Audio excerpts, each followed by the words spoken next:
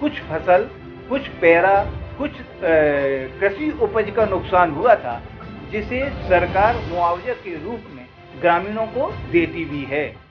लेकिन जब हाथी बिजली के करंट से मर रहा है तो निश्चित रूप से जिम्मेदार विभाग के प्रति जवाबदारी और ज़िम्मेदारी भी तय होती है।